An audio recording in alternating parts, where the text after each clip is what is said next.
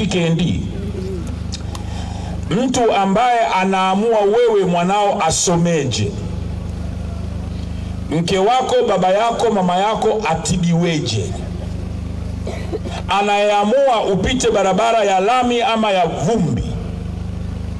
Anayeamua ununue sukari bei gani ulipe kodi kiasi gani huyu mtu huyu mtu sio wa kumwonea aibu mwanshimankinongyamba manake tatizo kubwa la nchi yetu wandu mbere ye wandu wa serikali. Au mbongo? Yaani watu wakimsikia mkuu wa wilaya kimeendi moja mama mama hebu tulia basi. Mama mankota loki ngabero anyuduya lwankuikia yondo? Mwishi uduya ro igyakasha lewanga washilingiyana uduya. Igyakasha sikuitukie fofo. Upo tena? Hivyo uduya sikuitifo nachosema ni nini? Kitu ambacho kimeharibu nchi. Mberei woga. Tunaumia lakini bado tunawoga. Tunaumizwa hatuwezi kujitetea. Tunadhalilishwa tunakuwa waoga mimi kitu ambacho sina ni uoga. Ni bora uniue nimesimama kuliko ni uniachie niishi nimepiga magoti. Kidokioshila yani nimeshasahau uoga. Nimeshawaambia mkinifunga mtafunga magereza zote. Lakini mbweni yule yule hivi. Kwa hiyo nachowaomba ndugu zangu ninyi watu wa hai ninyi watu wa kilimanjaro mmeumizwa sana kwa sababu ya ujasiri wenu Washington. Viongozi mbalimbali duniani wameendelea kulaani jaribio la mauaji dhidi ya rais wa zamani wa Marekani Donald Trump.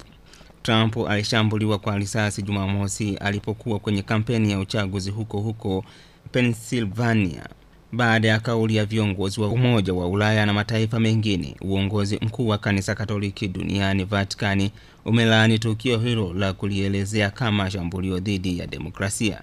Kwa upande wake, waziri mkuu wa Israeli Benjamin Netanyahu amesema sote tulishuhudia hapo jana kwa mshtuko jaribio la mauaji ya kihalifu dhidi ya rais wa zamani na mgombea urais wa Marekani Donald Trump.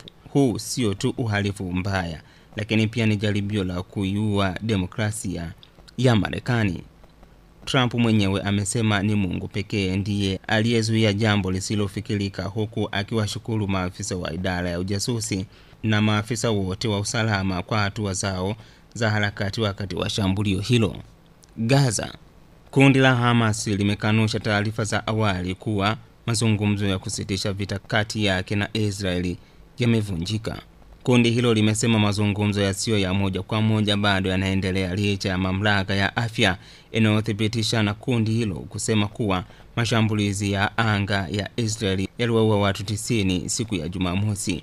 Awali Israeli ilisema kuwa mashambulizi hayo yalimlenga kiongozi wa tawi la kijeshi wa Hamasi Mohamed Deif. Hata hivyo, mwakilishi wa kundi hilo katika mji mkuu wa Lebanoni Bulti amesema leo kuwa Deif hakuuawa katika tukio hilo.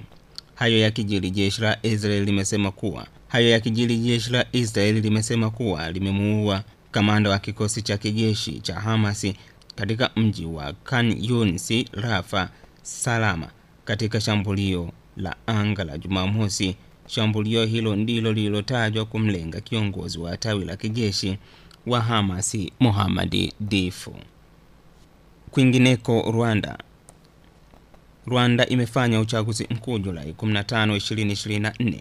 Rais Paul Kagame ambaye anatarajiwa bila shaka kupata ushindi wa kishindo katika azma yake ya kuwania umuhula wa nne madarakani.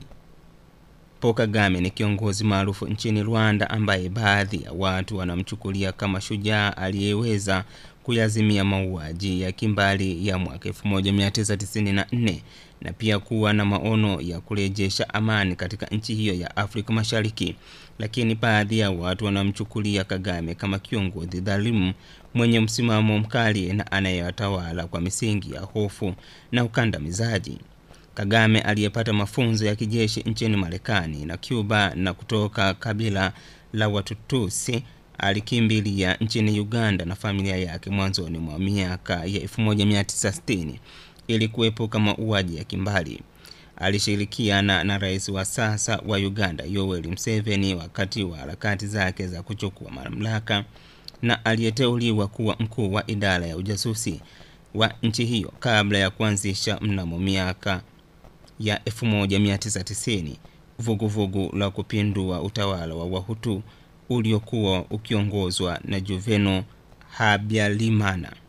Wakati wa chaguzi tatu zilizopita, Kagame alishinda kwa zaidi ya asilimia 93, na mara hii ni wagombea wawili pekee na wasio na ushawishi ndio walioidhinishwa kuchuana naye. Kagame alishikilia nyadhifa za makamu wa rais na waziri wa ulinzi kabla ya kuchaguliwa na bunge mnamo mwaka elfu mbili kuwa rais wa nchi hiyo.